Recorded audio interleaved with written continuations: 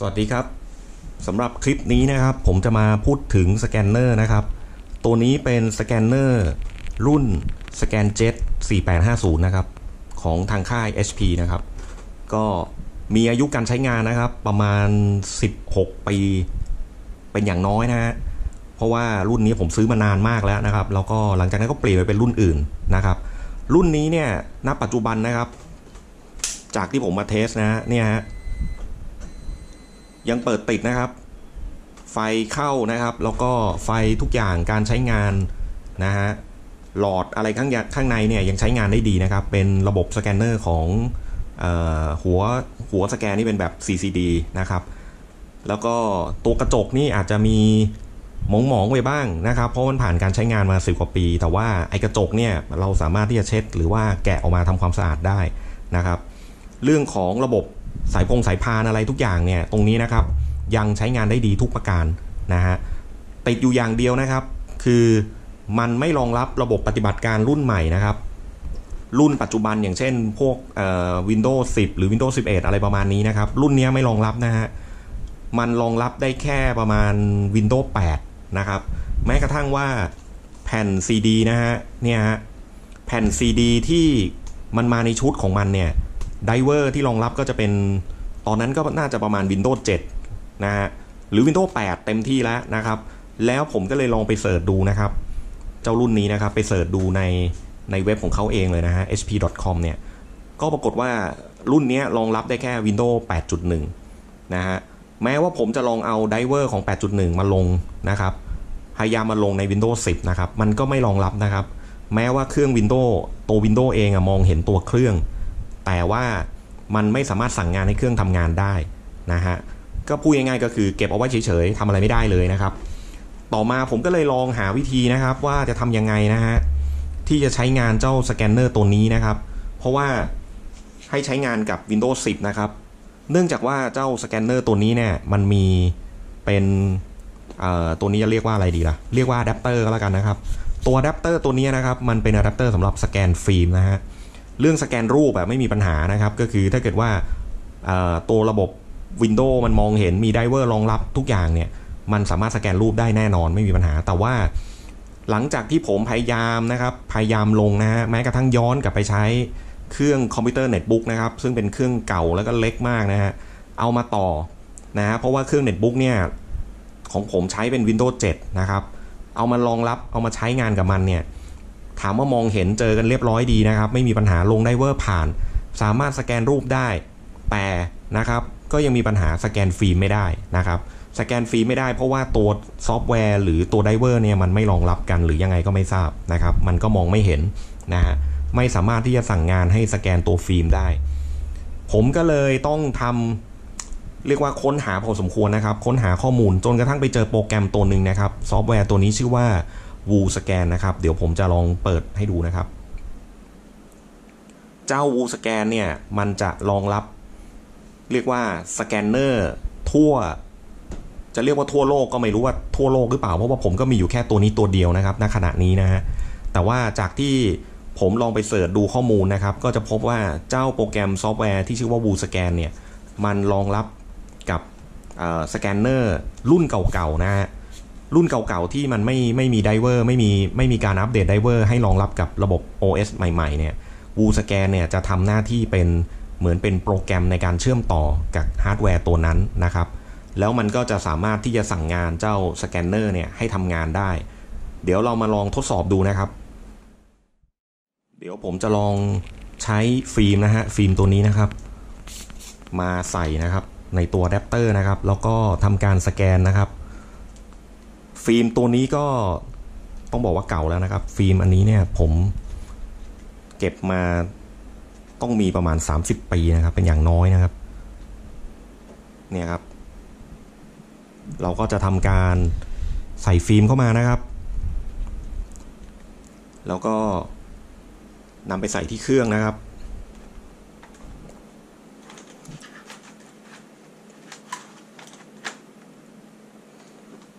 เนี่ยครับ มันจะอยู่บริเวณนี้นะฮะ โอเคครับ ก็หลังจากที่เราเตรียมฟิล์มของเราเรียบร้อยแล้วนะครับ เราก็จะเปิดเจ้าโปรแกรม w o o Scan นะครับ ในที่นี้นะครับผมก็จะดาวน์โหลดมานะครับ มาติดตั้งเรียบร้อยแล้วนะครับ หลังจากเปิดขึ้นมานะครับ เรามาเลือกในส่วนของ Option นะครับ เนี่ยฮะ ให้เลือกเป็นโหมด Professional ไปเลยนะครับ แบบนี้นะครับ ต่อมานะครับ ในการตั้งค่าตรงนี้เนี่ยก็ลองเลือกใช้ดูนะครับ ผมจะไม่ได้อธิบายทั้งหมดนะฮะผมจะอธิบายคร่าวๆเฉยๆนะครับว่าอย่างกรณีของผมนะฮะอันนี้เนี่ยให้สังเกตตรงซอสนะครับว่าซอสจะต้องเป็นชื่อเครื่องสแกนเนอร์ของคุณนะครับ ในที่นี้ของผมก็คือรุ่นสแกนเจ็ต4850 นะครับ ก็จะเป็นแบบนี้นะครับ เราก็เลือกไว้นะครับ โหมดนะครับ โหมดตรงนี้เนี่ยตรงนี้ผมเลือกเป็น transparency เนี่ย นะครับหมายความว่าผมจะสแกนฟิล์มนะครับแต่ถ้าเกิดว่าเป็นการสแกนรูปปกตินะครับเราจะเลือกเป็น flat base นะครับแบบนี้นะครับเนี่ยฮะอันนี้คือสแกนรูปนะฮะแต่ถ้าเกิดว่าอย่างกรณีของผมเนี่ยผมจะทดสอบด้วยการสแกนฟิล์มก็จะเลือกเป็น transparency นะครับเสร็จแล้วนะครับ media นะครับเมื่อเราเลือกในส่วนโหมดเสร็จแล้วเนี่ย media เนี่ยเราจะต้องเลือกเป็น ชนิดของฟิล์มนะฮะ อย่างของผมเนี่ยเป็น color negative นะครับ ถ้าเกิดของท่านอื่นจะเป็นสไลด์หรือจะเป็น black and white อะไรประมาณนี้ก็ต้องลองไปเลือกดูนะครับ แต่ถ้าเกิดว่าเลือกเป็น image นะฮะ ตามความเข้าใจของผมเนี่ย ผมเข้าใจว่าน่าจะใช้ควบคู่กับ flat base นะครับ หรือจะเป็นแบบไหนยังไงเนี่ยก็ลองเล่นกันดูนะฮะ เพราะว่าแต่ละสแกนเนอร์ของแต่ละท่านอาจจะไม่เหมือนกันนะครับ ในที่นี้ของผมนะครับ ผมจะเลือก media เนี่ยก็คือตามชนิดของสื่อที่ใส่เข้าไปเลยนะครับ ก็คือฟิล์มนะครับ เป็นฟิล์ม negative ต่อมานะครับ preview area นะครับ ก็เป็น auto นะครับ ผมเซตไว้อย่างนั้นนะฮะ bit per pixel นะครับ ก็เป็นบิตของสีนะครับ ปกติแล้วเนี่ยจริงๆ เลือก 24 บิตนี่น่าจะเพียงพอนะครับ แต่ว่าผมคิดว่าเอาเยอะไว้สักนิดนึงนะครับ ก็เป็น 48 บิต แล้วในส่วนนี้ครับแบตสแกนนะครับ ผมไม่แน่ใจว่าแต่ละคนจะเซตยังไงนะครับ ค่า default นะฮะ แต่ของผมจะปิดออฟไปเลยนะครับ เพราะว่าเดี๋ยวผมจะลองจิ้มเลือกเอาเองนะครับ ว่าผมจะสแกนฟิล์มเอาเฟรมไหนอะไรประมาณนั้นนะฮะ ที่เหลือตรงนี้นะครับ เป็นเรื่องของการตั้งค่า resolution หรือความละเอียดนะครับว่าเราต้องการที่จะ preview preview resolution นะครับ ในที่นี้ผมเลือกแค่ 200 นะครับ เพราะว่า การ preview เนี่ยผมไม่ได้ต้องการจะดูว่ามันละเอียดขนาดไหนนะครับ แต่ว่าใน output สุดท้ายนะครับ ก็คือ scan resolution เนี่ยผมเลือกไว้ที่พันสองก่อนนะครับ แต่ว่าในการสแกนจริงเนี่ยคุณอาจจะตั้งค่าที่คุณต้องการ ว่าคุณจะนำไปใช้ อย่างเช่น คุณจะนำฟิล์มันนี้ไปขยาย หรือจะไปพิมพ์ใบใหญ่ขนาดไหนนะครับ โดยทั่วไปนะครับ ในค่า resolution หรือ DPI ตรงนี้เนี่ย ระดับ 1,200เนี่ยก็สามารถพิมพ์ใบใหญ่ได้แล้วนะครับ แต่ในที่นี้ผมก็จะตั้งไว้แค่ประมาณ 1,200 ก่อนนะฮะไม่ต้องตั้งเยอะมากนะครับ เพราะว่าผมยังไม่ได้ต้องการเอาไปทำอะไรมากมายนะครับ ที่เหลือตรงนี้เป็นการตั้งค่าอย่างเช่น auto flip ให้มันกลับรูปไหมอะไรประมาณอย่างนั้นนะฮะ rotation นะครับต้องการให้มันหมุนรูปอะไรยังไงหรือเปล่าอะไรประมาณนี้นะครับ ส่วนค่าอื่นนี่ผมไม่แน่ใจนะครับ ผมก็ใช้ default ของมันเป็นหลักนะครับ แล้ว ต่อมาเดี๋ยวนะฮะเดี๋ยวขอดูนะครับ โอเคนะครับ ตรงนี้เป็นเรื่องของการตั้งค่า default ว่าโฟลเดอร์ให้ไปเก็บอยู่ที่ไหนนะครับ ตั้งชื่อรูปนะครับ ก็เป็นปีเดือนวันแล้วก็ตามด้วยหมายเลขนะครับ มาทีนี้เนี่ยครับเดี๋ยวเรามา preview กันขึ้นมามาดูก่อนเลยนะครับ เนี่ยครับ กดปุ่ม preview นะครับ เพื่อเป็นการดึงเอาฟิล์มที่เราใส่นะครับ ฟิล์มที่เราใส่ในเครื่องสแกนเนี่ยให้มันดึงขึ้นมาดูก่อนนะครับ ว่าเราต้องการที่จะสแกนเฟรมไหน โอเคนะครับเนี่ยครับเนี่ยครับตอนนี้เครื่อง preview รูปขึ้นมาแล้วนะครับ ตัวฟิล์มนะครับ ฟิล์มก็จะตามประมาณนี้นะฮะเนี่ยฮะ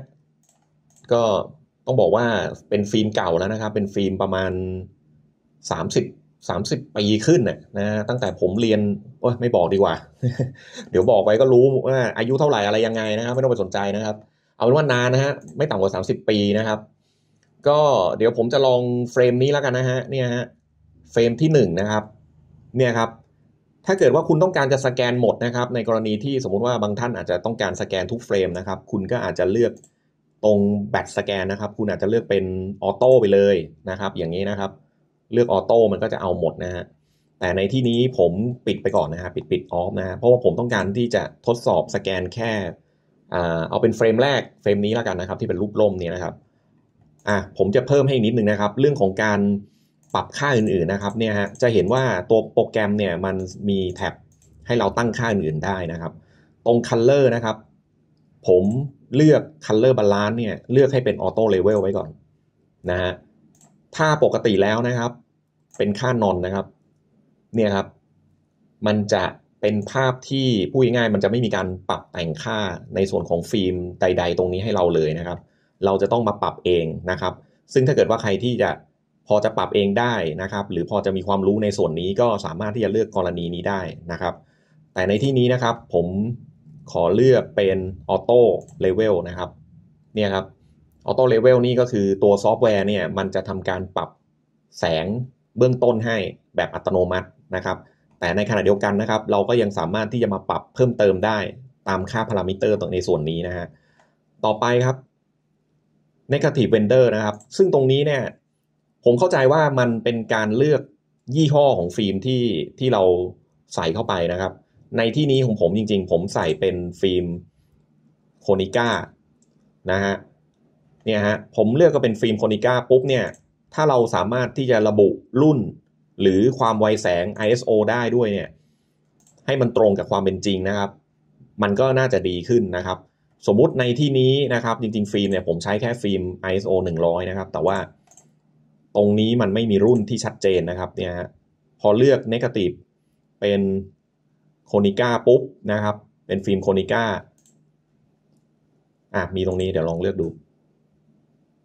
เนี่ยครับ Super SR 100น่าจะใกล้เคียงสุดนะครับ ผมไม่แน่ใจนะครับว่า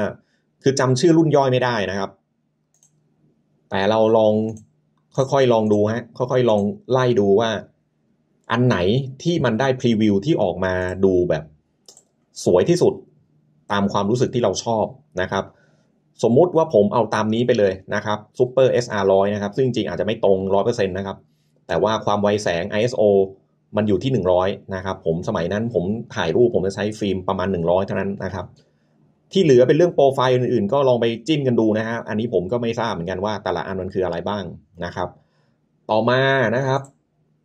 อ่า output จริงๆ output ตรงนี้ก็คือในส่วนนี้แหละนะครับเนี่ยในส่วนด้านล่างนี้นะครับ โอเค สมมุติว่าผมจะสแกนเฟรมที่ 1 นี้นะครับเนี่ยครับผมเลือกไปแล้วนะครับ frame number นะครับคือหมายเลขหนึ่งนะครับ ความละเอียดนะครับ สแกนออกมา resolution พันสองร้อยเอาสองพันสี่เอาพันสองร้อยแหละนะครับพันสองร้อยมันจะได้ไม่นานนะครับ เพราะว่าถ้าคุณเลือกความละเอียดยิ่งสูง มันก็จะยิ่งสแกนนานนะครับ ในที่นี้ผมจะทำเป็นตัวอย่างให้ดูในคลิปเฉยๆนะครับ เพราะฉะนั้นผมจะเลือกความละเอียดอยู่ที่พันสองร้อยก่อนนะครับ แล้วก็กดสแกนได้เลยครับ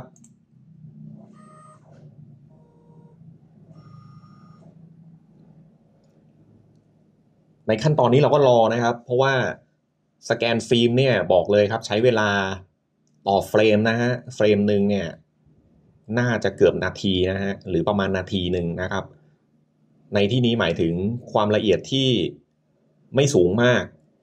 นะครับ ถ้าคุณเลือกความละเอียด scan resolution คุณเลือกสูง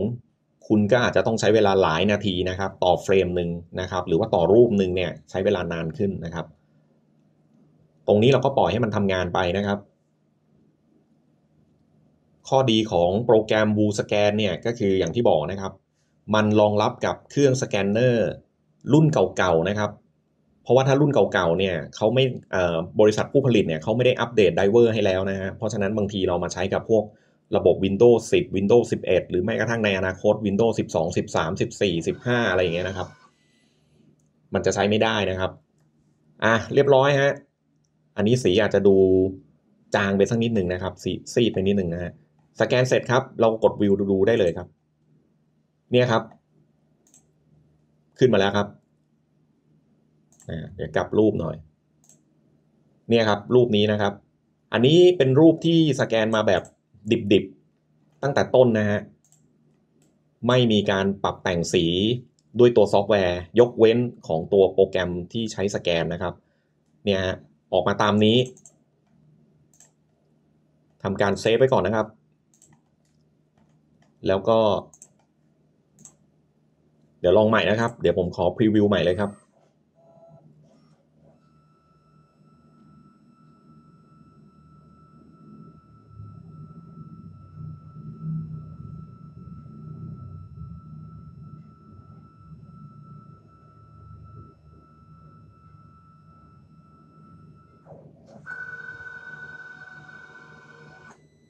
โอเคครับ ทำการพรีวิวอีกรอบหนึ่งนะครับเพราะเดี๋ยวผมจะลองสแกนในโหมดเอ่อ color เนี่ย ตรงนี้ auto level นะฮะ แต่ว่า negative render นะครับ เดี๋ยวผมจะขอลองเปลี่ยนนะครับ เนี่ยครับ จะสังเกตนะครับ พอเปลี่ยนเป็นอันนี้ไม่รู้อ่านว่าอะไร generic นะฮะ ประมาณนี้นะฮะลองดูฮะ ลองดูหลาย ๆ อันครับ ว่าถ้าเกิดว่า negative render เราเปลี่ยนเป็นยี่ห้อแต่ละยี่ห้อดูเนี่ย อันไหนมันมันออกมาดูว่าเราถูกใจที่สุดประมาณนั้นนะฮะ เนี่ยมันมีแบรนด์หลายตัวนะครับ แต่ว่า Ilford นี่จะเป็นฟิล์มขาวดำนะครับโกดักนะครับ เดี๋ยวลองดูฮะโกดักก็จะติดออกมาโทนนี้นะฮะ Konica เมื่อกี้ลองแล้วนะครับโพลารอยอะเดี๋ยวลองอันนี้ดีกว่านะครับ เนี่ยครับ generic นะฮะไม่รู้ไม่รู้อ่านถูกหรือเปล่านะครับ เนี่ยครับ เนี่ยฮะสีตัวนี้จะดูเข้มขึ้นนิดนึงนะครับ ดูเหมือนเหมือนใกล้เคียงของจริงมากขึ้นนะครับ ก็ แต่ถ้าใครยังไงก็ลองไปปรับดูนะครับ ในส่วนนี้ผมลองทำเป็นตัวอย่างให้ดูเฉยๆนะครับ โอเคนะครับ สมมติว่าผมดูตามนี้นะครับ เดี๋ยวผมจะสแกนเฟรมหนึ่งเหมือนเดิมนะฮะความละเอียดเท่าเดิมครับ กดสแกนครับ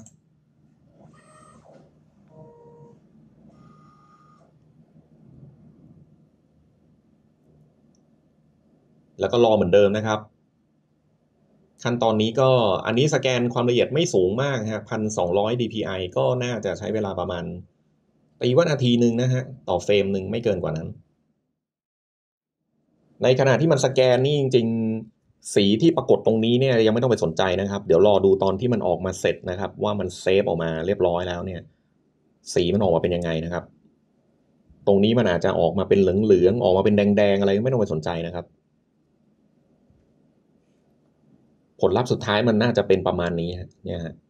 ตรงมุมมุมขวาตรงเนี้ยนะครับ ภาพทางด้านขวาเล็ก ๆ ตรงนี้นะครับ มันเป็นการพรีวิวให้ดู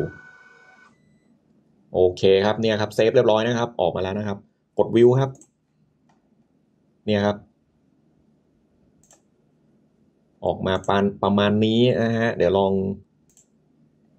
เดี๋ยวลองเทียบกับรูปเมื่อกี้เนี่ยครับ อันนี้คือรูปที่นะฮะรูปนี้นะฮะ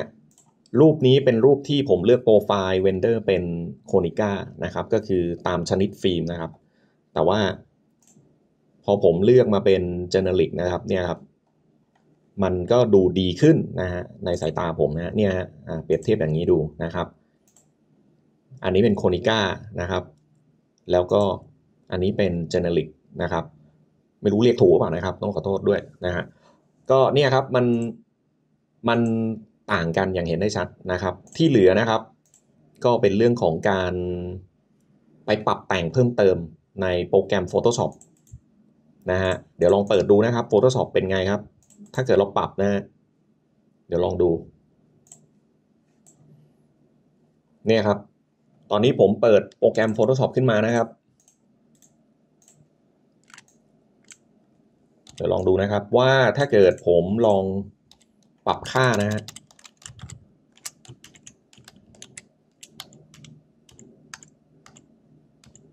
อันนี้สีจะออก อันนี้สีออกประมาณ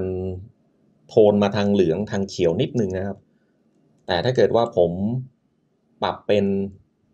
auto color นะครับ มันก็จะดูสีลดเหลืองมานิดนึงนะครับ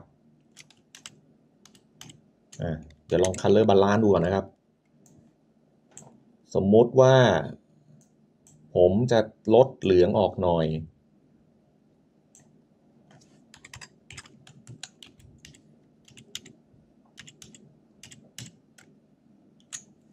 ประมาณอย่างนี้นะครับ ถ้าเกิดว่าลอง ลองดูก่อนนะครับ ผมก็ไม่แน่ใจว่าแบบไหนจะออกมาดีนะฮะก็ค่อยๆลองดูครับ คือพูดง่ายๆว่า เวลาเราสแกนฟิล์มแล้วนะครับ โดยส่วนใหญ่นะครับ ยังไงก็แล้วแต่นะครับ มันจะต้องมีการมาตั้งค่าหรือปรับค่าเพิ่มเติมนะครับ หรือใครจะถนัดเป็นโปรแกรมตัวอื่นก็ได้นะครับ Lightroom อะไรประมาณนี้นะครับ ได้หมด เนี่ยครับ สีจะซีดไปนิดนึงนะครับ ลองเพิ่ม saturation นะครับ เพิ่มความสดอะไรประมาณอย่างนี้นะครับ อันนี้มันก็สดเวอร์ไปนะฮะ เนี่ยฮะเพิ่มเข้ามาสัก ประมาณอย่างนี้นะครับ สมมุติ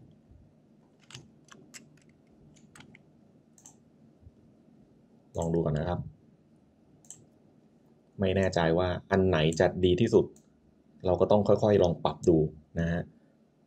เพราะว่าฟิล์มมันเก่าแล้วนะครับ เนี่ยครับก็ เอาเป็นคร่าวๆแล้วกันนะครับ ประมาณนี้นะครับ ใครชอบโทนสีประมาณไหนก็ลองไปแต่งกันดูนะฮะโปรแกรมที่เราได้ไฟล์มาแล้วเนี่ยโปรแกรมที่เราจะไปใช้ต่อเนี่ยมันก็มีตัวเลือกให้เลือกเยอะนะครับ ไม่ว่าจะเป็น Adobe Photoshop หรือว่า